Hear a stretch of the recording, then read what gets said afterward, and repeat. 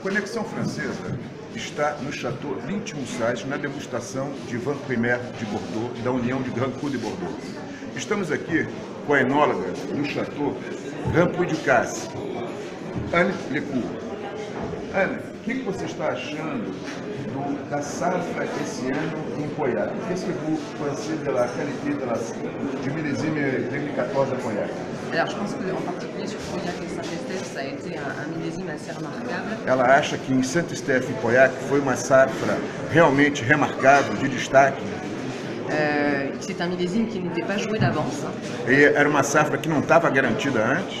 Euh, on n'en retient que les bons moments, mais le début a été un peu compliqué. A gente guarda na memória os bons momentos, mas o início foi muito complicado.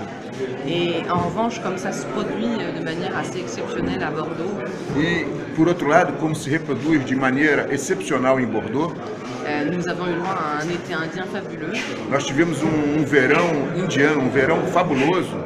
et un temps très chaud, très ensoleillé s'est installé à partir du 23 août, E depois do dia 23 de agosto, um tempo muito ensolarado, muito quente se instalou. nous permettant d'atteindre une maturité euh, optimale sur les Cabernet Sauvignon en particulier.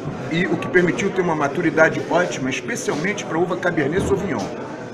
Et il en résulte des vins que vous avez déjà pu goûter E é um, o resultado são os vinhos que nós estamos aqui degustando et que je décrirais comme des vins à la fois pleins et denses, e que ela vai descrever como vinhos plenos e densos euh, sur lesquels on a tout de même réussi à conserver de la fraîcheur. e que mesmo assim se conseguiu guardar o frescor. Et je pense qu'on peut dire euh, aujourd'hui pour les doutes que ces deux appellations qui sont Pauillac et Saint-Estèphe sont très homogènes cette année. E ela diz que hoje Poiac e Saint-Estèphe são duas denominações que estão muito homogêneas. Voilà, et c'est un millésime qui nous donne un petit peu d'air à nous, euh, les techniciens, les gens de la vigne et des chais, après Ah. des millésimes un peu plus compliqués. É, é, dá muito prazer a ela isso, porque depois de 2012, 2013, anos muito complicados, dá prazer ter um- uma bela safra na mão.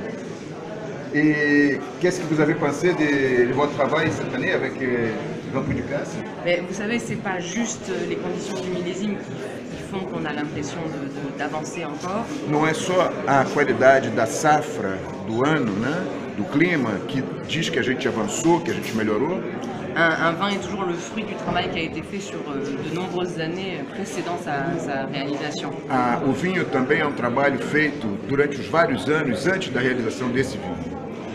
Premier assemblage depuis longtemps où on atteint de tels niveaux de Cabernet Sauvignon à Grand Prix du Casse. É, há muitos anos que eles não tinham uma grande quantidade, de uma grande presença da Cabernet Sauvignon no corte do Grand Prix du Casse. Et ça signifie qu'on est juste en train de récolter les fruits euh, du travail de restructuration du vignoble qui a été entamé entre 2006 et 2012. Então eles estão recolhendo agora a- o resultado de um trabalho que foi feito entre 2006 e 2012 na melhoria da qualidade da Cabernet Sauvignon. Trabalho no vinhedo. Voilà.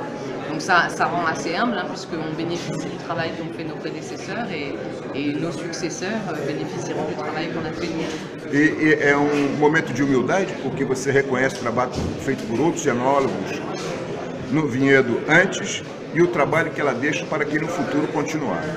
Voilà. Bom, santé. Santé. Merci beaucoup.